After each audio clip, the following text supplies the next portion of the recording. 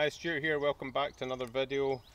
This time we're just doing a quick review on everything I did over the winter. I say everything, the flywheel was the main thing really.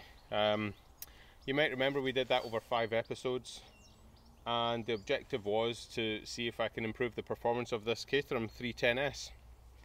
Um, I'd read a lot about the benefits of changing my flywheel um, and a few negatives as well and some of the positives I'd read about were quicker pickup, better engine braking, more responsive throttle.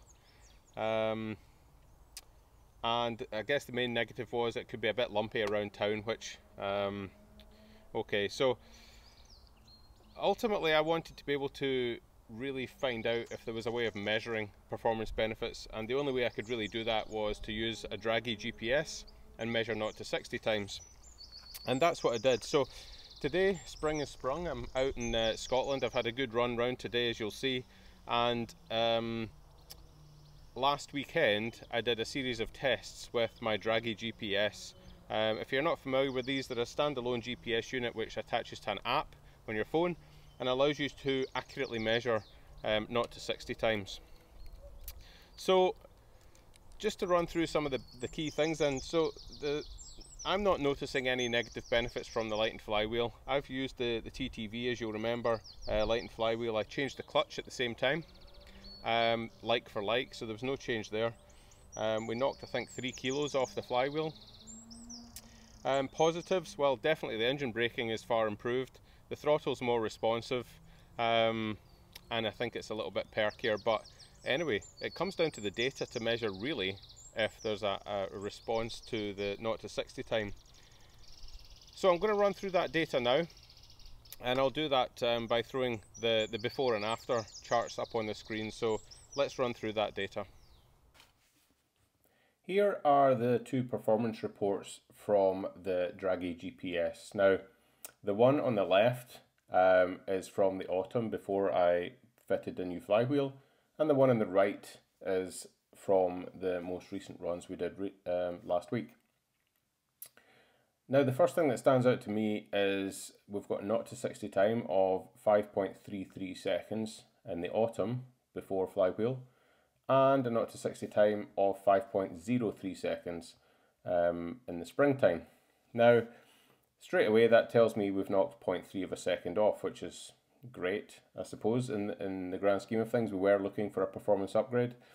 You'll notice it says valid in the top right hand corner here. Now that um, means that all the GPS was, was accurate enough, but it also means that um, the slope isn't um, exceeding a certain level. So if we have a look at the autumn run of 5.33 seconds, you can see where we're actually going downhill and if we have a look at the, the post flywheel fitting, 5.03 seconds, we were actually going uphill. So for me, that perhaps has the ability to come down a little bit um, even further. So the other thing that stands out to me is if you look at the 0 to 10 miles an hour, we did that in half a second with the old flywheel.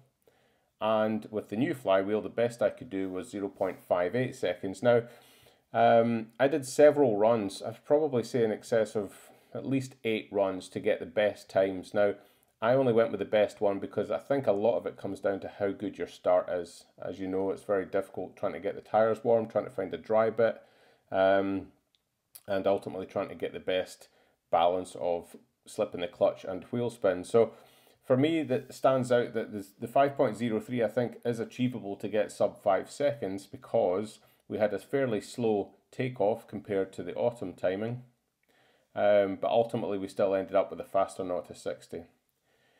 This data also shows you the 0 to 60 time with a one foot rollout, um, and we got 5.1 seconds from the, the old flywheel and 4.77 seconds with the new flywheel. So that's my conclusion of this data.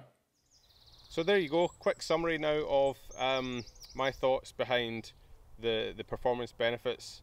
I don't think, well I've not been able to see anyone else um, who has online on the forums or anywhere else been able to measure that. Now you could argue the case that maybe that Dragy isn't accurate enough but it's all I've got and I've done multiple tests with it as, you, as you've seen. So Um, long story short, yes, I've managed to knock a bit of time off the 0 to 60. I think the engine braking and the, the, the perky performance is, is fun, but for me, one of the biggest benefits was the fact that I learned how to take the engine out with a little bit of help from, from Gordon, but I managed to take the engine out. I'd be confident enough to do it again.